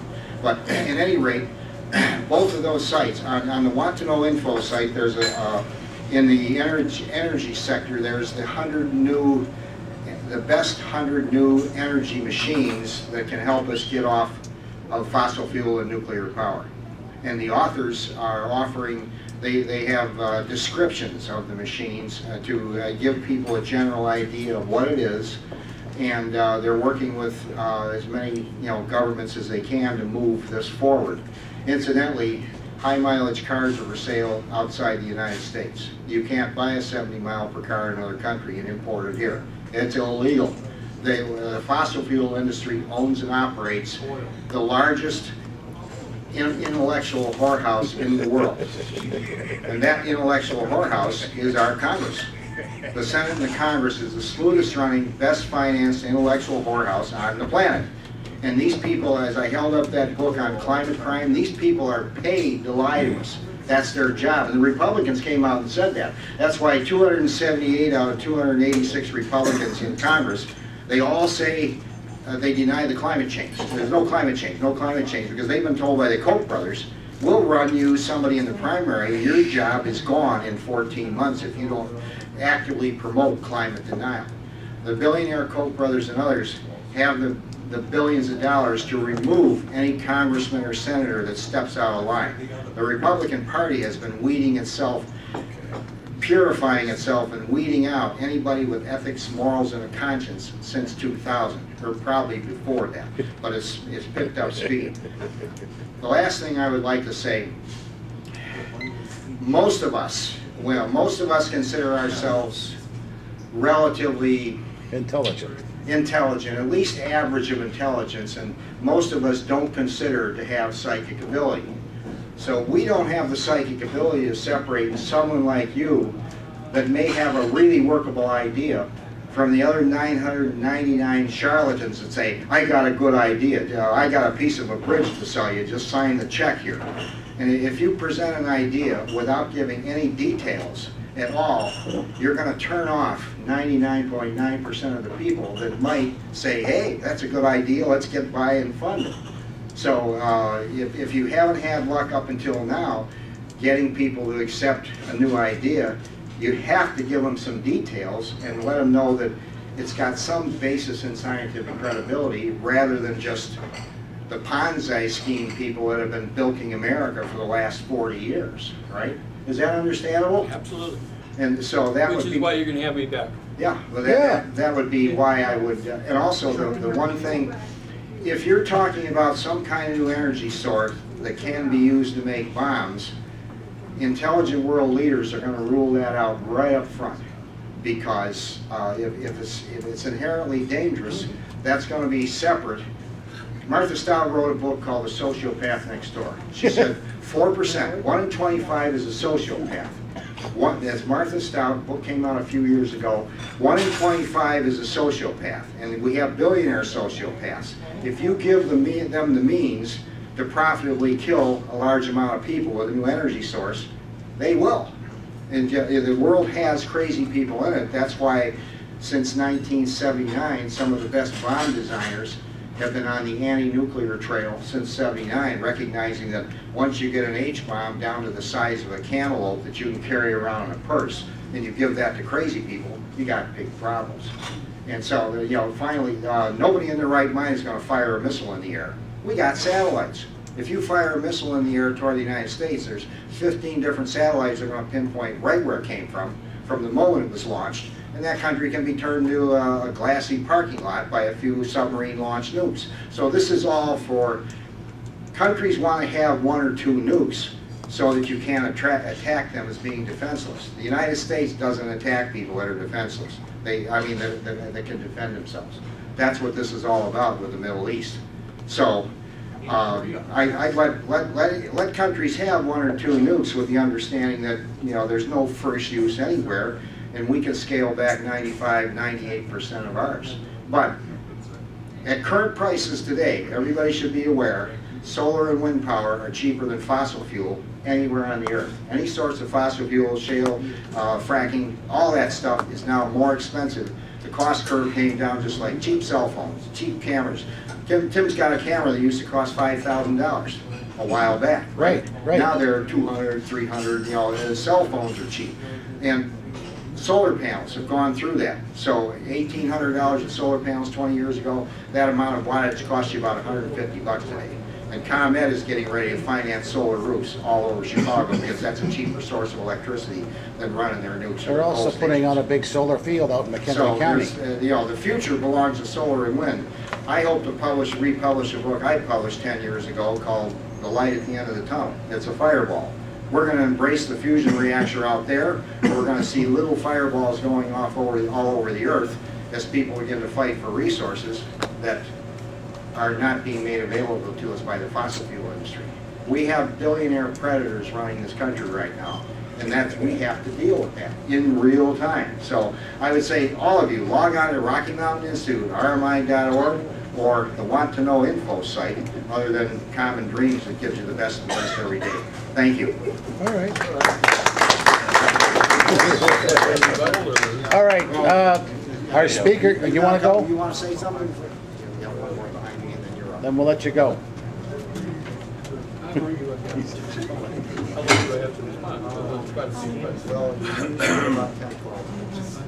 Okay. I forgot what I came here for. Um, No, no, no. you know, it's beautiful to have uh, capitalism and democracy. If, can you imagine capitalism without democracy? how will it look like? It's called Nazi Germany. Get out. Nazi Germany. Get out. They were full of acids. Keep going. That was without democracy. Um, But what, think of the- of another way, what if, uh, what if capitalism can buy democracy? Isn't that something that is happening? 99 came from where? Wow, we felt the pinch. Somebody is buying the government. We don't particularly like that. And if it, there was no democracy, capitalism will be out of control and we will be in pretty sorry state. Now, about this uh, nuclear energy and atom bombs and all that, um, the speaker said that uh, we have to respond to North Korea and Iran the way we did because of appeasement. What the hell were we doing all this time with Russia and China and the biggest, and Pakistan and India? We were facing them with appeasement. And, uh, but if they are smaller than that, then I think our approach is more than appeasement. Uh, One thing, you know, we we cannot forget, the electric cars came out from the very beginning, early 1900s. And uh, because oil has become so cheap, that, that their development wasn't continuing. Now we are in the balance between cheap oil and developing electric cars. Do you remember those trains that we had in here that were running on railroad tracks, guided by electricity? And, and, and what happened to them? That was clean energy. And what happened to, to that? Why did we change, abolish them altogether and went with the bus industry and started purchasing bus? Anybody in here? Back in the forties and fifties, wasn't it? Trolley, called trolley cars. That was in the late fifties. Late fifties. What was the question? Early- And the energy that did the, the electricity wasn't clean. It was a clean energy, wasn't it? No, The energy that made the electricity wasn't clean. Those coal burning. But the auto industry wanted to build. Well, it's still, uh, not too many fuels were coming out. Not from the trolleys, but from the. Well, just as an example that I uh, keep the, the, the balance, check and balances between capitalism and uh, democracy. Because the ones that eventually won in getting rid of those trains that were not polluting the air, producing the electricity in comparison to the, all the fumes we get now from all the, it, there is no comparison. So, the, the one company, I, I read this long time ago, but the one company that was involved in, in this project was Firestone. And there is another one. It was two tire companies that had, GM buses and Standard Oil. really? General The Motors. Standard Oil too. I thought it was just the bus. No, the oil company. Big oil. The tire companies were the first ones, I thought that they would have the biggest push. So, you know, if something is gonna be going for the better, and it's not going, and, and there are huge, very wealthy, powerful companies, they can actually give you a little trouble with your program. Sure. And, and so, good luck. I hope you overcome them, because they're really, there is other organizations that I wouldn't mention that uh, practically are taking over the country, but uh, that's about what I wanted to say. I hope somebody has ideas along that line. Just think of the balance of power. Okay, our speaker this to rebut? All right, get the last word and Uh, last words was a thorough, there- there's a lot to go through, a lot of people said a lot of things. Um, Next week, and they'll talk about it again. I thought you were gonna mention the six, but you did. Add more to their rebuttal. Okay, well, that's fine. I, I- you know, once it is is shared, which will be, you know, before the election, um, I'll be happy to come back and do it. Two take-home messages for today, if nothing else. And, and it's not directly related. Number one, appeasement does not work. Ask Neville Chamberlain, ask Joe Stalin. They found out the hard way. And, but I will tell you, science does work. I heard a lot of things here that are more ideology than good science. Science, science. That's what gave you this, that's what gave you solar panels, and where the price went down, that's all science. And so science works time and time again. Um, and in, in your criticisms, it's always good. So absolutely, if I can't prove what I'm saying, that ain't science. Science proves what it says. So I'll have to come back, but that's just because I want it used for the right purposes and it, it denuclearizing North Korea and uh, and uh, Iran in the next few months. Months. Make sure you define acid, before you, make sure you define acid before you start using What do your you mean? term. Define Acid. A C I D? Acids. He means acids. A S S E T S? Oh, I can't, I'm, I'm deaf in one ear. What? Define what? What you said. Define the term acid before you start using it. A-S-S-E-S, acid. Oh, acids, arrogance, stupid, Oh, my. arrogance, stupidity, and systematic abuse of power. Acids, arrogance, I did, but but I know there was a lot there. Anyway, so um, so science works. Um, it's the seven Chinese philosophers with their part of the elephant. It's not one person's right and another person's wrong. It's, it's you need to see the overview. And unfortunately, a lot of things discussed here were just parts of the elephant. You need to see the overview, and that's what good science does. Uh, so, um, so that, by the way, with global warming and uh, oceans rising, if you take that water and you, you, you go through the Great Lakes and put it back in the aquifers where it could do some good, that's good science too. So, you know, and by the way, I'm all for good global warming, uh, it's rather not have to shovel snow. Okay, so, um, so bottom line is that uh, um, we can move things forward. Um, in terms of drug uh, drug treatment, I'll tell you the story. Shanghai used to be, you know, people were Shanghai. And um, after the revolution, Mao came in and he said, look, it's all the people in the drug dens, you know, you're either going to stop or you're going to be dead.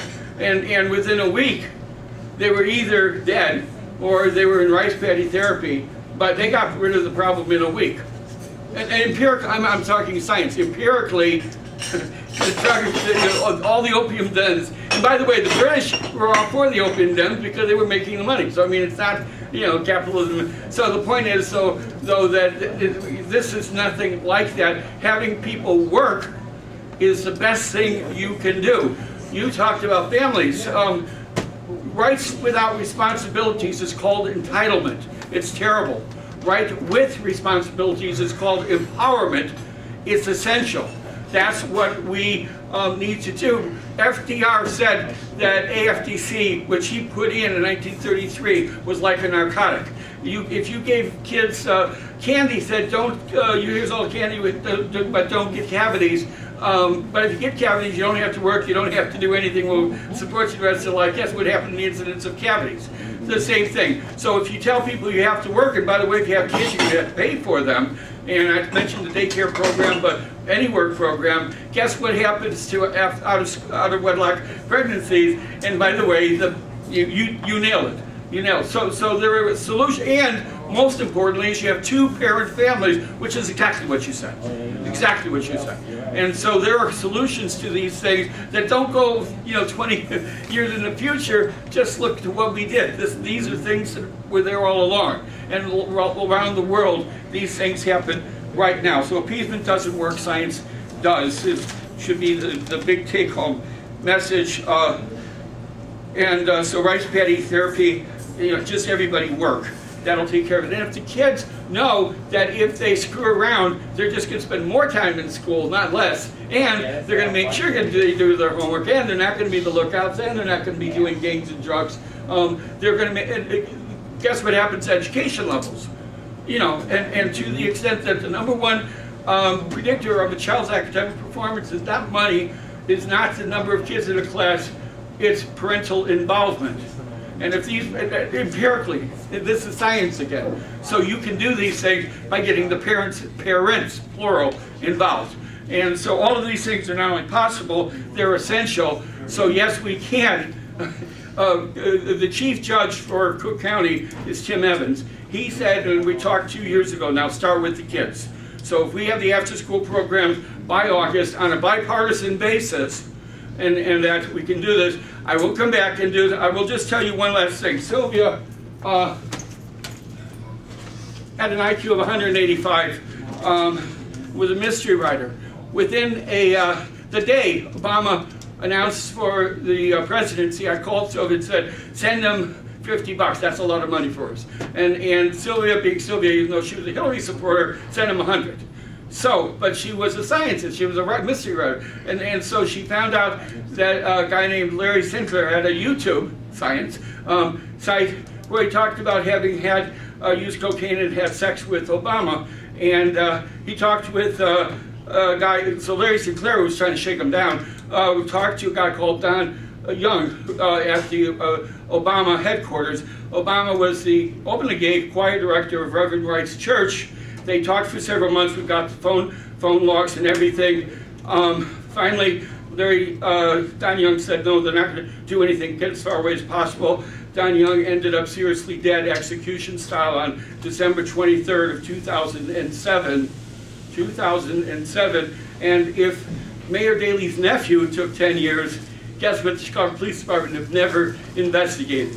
So it's coming out. If you can talk about uh, Stormy Daniels, then you may as well talk about Obama and the murder of Don Young. You can talk about uh, Ted Kennedy and Mary Jo Kopechne. You can talk about JFK and Marilyn Monroe. But let's stop the double standards. And so to the extent that comes out, uh, the issues about uh, the issues about the Global Energy Independence Program and ASSES use your word, and I'm sorry I'm deaf, but uh, arrogance, stupidity, and systematic abuse. That's the third thing, because that's the biggest killer in, in the world of things we can prevent, and we can prevent it in the next uh, uh, decade, and that should be our goal. A peace on earth by 2030.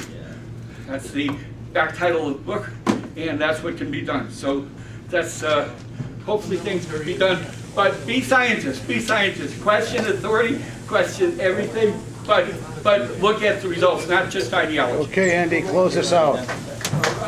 Okay, let's give our speaker a big hand. More bigger. Thank you for a good talk, and we are adjourned tonight. We'll see you next week. Thank you. He doesn't go into the, uh, into correcting that so much, the- correcting the microbiome. But uh, that book can give you hope. I had not, I hope it's on the tape, because oh, you can write What's that? Now, I tried to write these down, but I'm sure I screwed them up. Nothing in the So why don't you write orthodox them down? medicine worthwhile even mentioning that goes on prevention. No, that's good, that's good.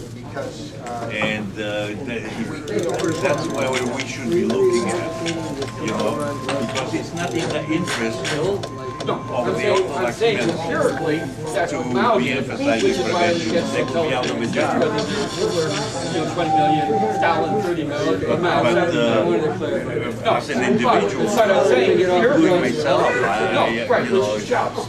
just because I keep on as- the And that's what Tim Evans, the chief judge, the chief judge says. Well,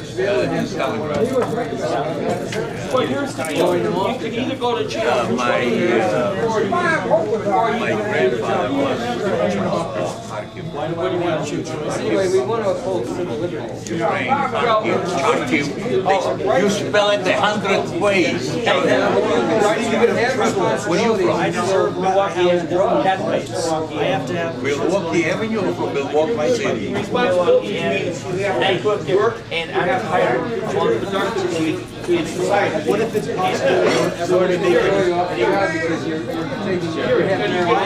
Why as we it you're going to years, you aren't gonna be able to get because of some. I don't. Got. I give it away my to many people. I have a dollar. I'd be interested in your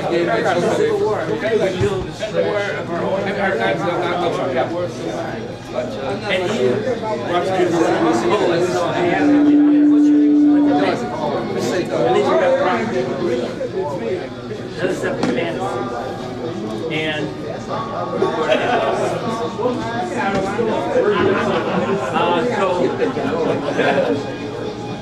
so Lucky my few words there.